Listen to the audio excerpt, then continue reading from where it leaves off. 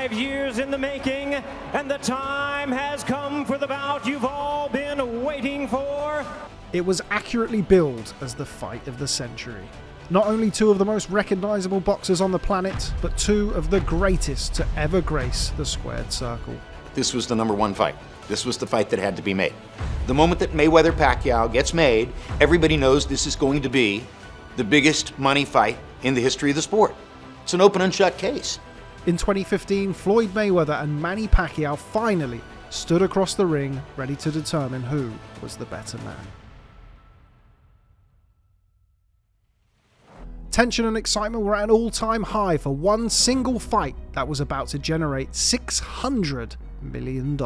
Comparable only to the likes of the Super Bowl, this astronomical figure for a single event broke all manner of records. With ticket prices only starting at $1,500, gate receipts garnered a bumper haul. It was pay per view buys, however, that secured both men nine figure purses as over $400 million worth of sales were cleared. Ultimately, across all the drama of negotiations, stipulations, and contractual demands, fight fans can be thankful that the bout even took place at all. It was 2010 when it could and should have actually happened. Floyd recorded back to back victories over Oscar De La Hoya and Ricky Hatton in an immense 2007. The De La Hoya fight went down to the wire as Oscar briefly rediscovered his prime for the first half of the contest. Floyd adapted to assert his dominance and establish himself as boxing's new financial king. My name is Floyd. My name is Floyd. My name is Money Mayweather. His win over the unbeaten Hatton seven months later saw cultures collide as the Hitman's army descended on Las Vegas, determined to topple the braggadocious American star.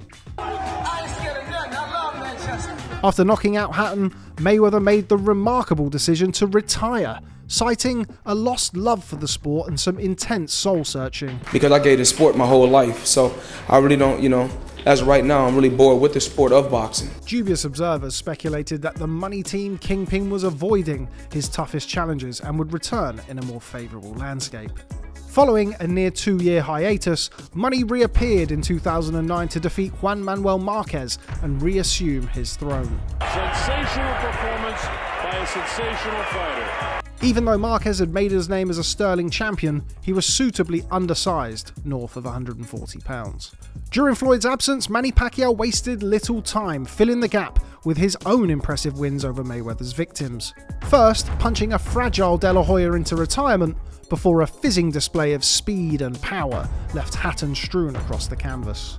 A rapid fire 2009 shellacking of Miguel Cotto showcased the Filipino's explosive two fisted accuracy, but it was arguably his Texas domination of Antonio Margarito that exemplified peak Pac Man.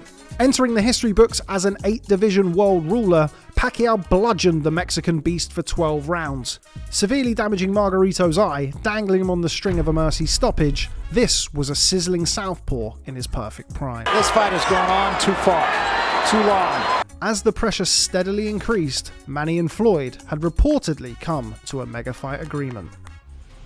Contracts were rumoured to have been signed. Mayweather then demanded Olympic style drug testing. Deadlines got missed and both went their separate ways. Floyd Mayweather, may or may not weather, is scared. Just say the word Pacquiao. Just say Pacquiao. Mosley. Shut the f- up and fight.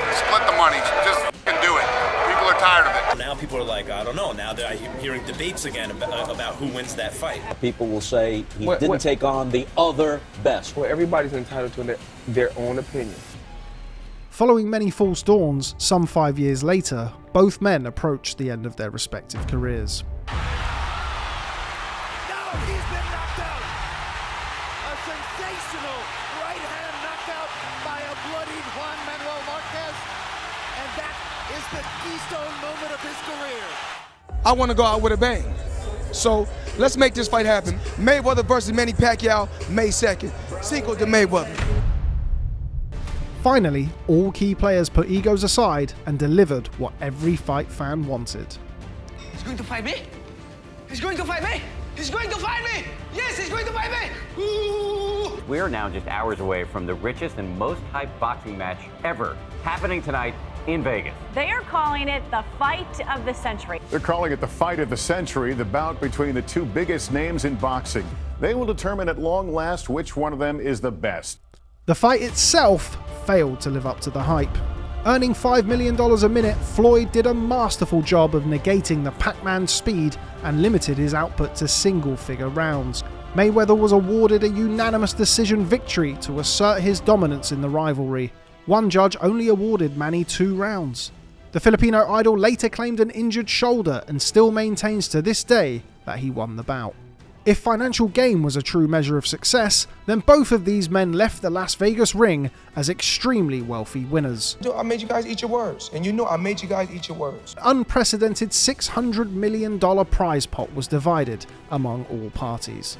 The hype and anticipation built over a decade helped drive this record breaking event. So I got like, I got like, let me see, it's 80,000. Okay. I got like 80,000. oh, shit. Business still right there. Oh, I still got it. Oh.